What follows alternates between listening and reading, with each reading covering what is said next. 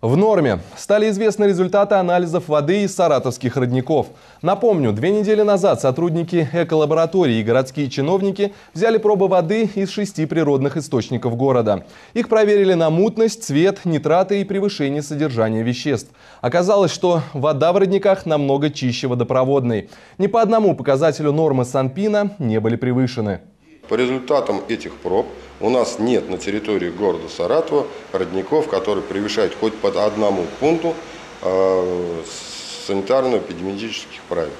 Поэтому говорить, что у нас в Саратове есть родник, который плохой или очень плохой, это неправильно. У нас все родники с нормальной питьевой водой. А вот откуда воду лучше пока не пить, это из природного источника Часовенный, который располагается на Алтынной горе. Дело в том, что источник не функционировал свыше 10 лет, и сейчас его приводят в порядок. Приблизительно за месяц здесь планируют заменить трубы, провести дезинфекцию местности. И уже тогда воду можно будет смело использовать для питьевых целей.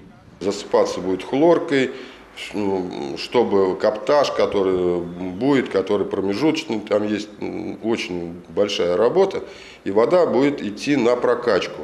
Вот в этот момент э, воду пить нельзя. После этого, когда пройдет вот эта вот вся химическая очистка родника, будут взяты пробы Росприрод, Роспотребнадзором, Прямо в цель. Под Саратовом проходит российский этап международных игр «Мастера артиллерийского огня-2015». На полигоне «Широкий Карамыш» военнослужащие состязаются в выполнении огневых задач.